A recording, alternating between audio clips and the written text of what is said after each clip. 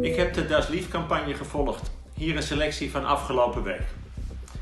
Het was mijn dagje wel op de IC. Fijn om te kunnen helpen, maar behoorlijk uit mijn comfortzone.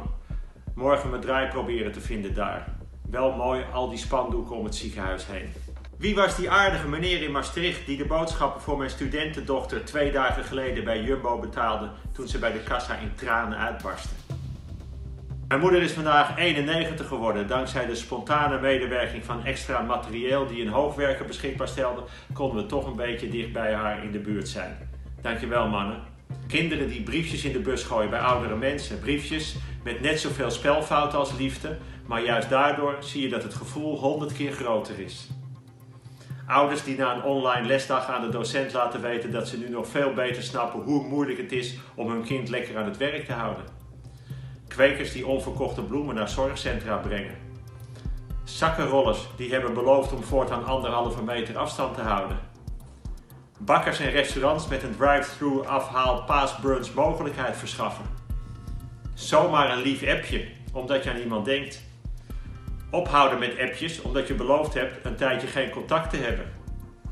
Met een boog om iemand heen lopen, maar wel gedag zeggen. Vrienden met een tuin aanbieden om een weekend van huis te ruilen. Uh, hoewel het wel slechte weer schijnt te worden. Muziek op het balkon van iemand die echt heel mooi viool kan spelen. Iemand die heel slecht viool speelt, die zolang iedereen thuis zit dat ook niet gaat oefenen. Scholen die er enorm hard voor werken om met alle leerlingen contact te houden. Een hele schoolklas die online zingt voor jarigen. Boodschappenlijstjes in de buurt-app. Alle shout-outs.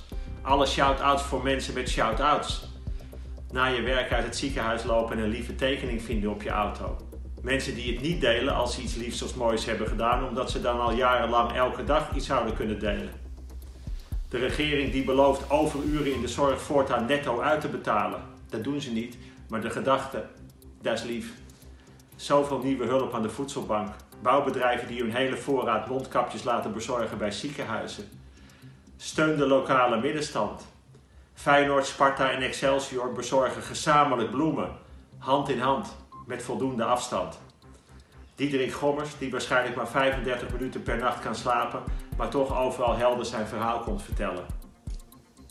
Nu even niet gelijk met een gestrekt been erin, maar rustig laten passeren. En tenslotte thuis op veel meer ja zeggen in plaats van diep zuchten. Schitterende week. Dat is lief.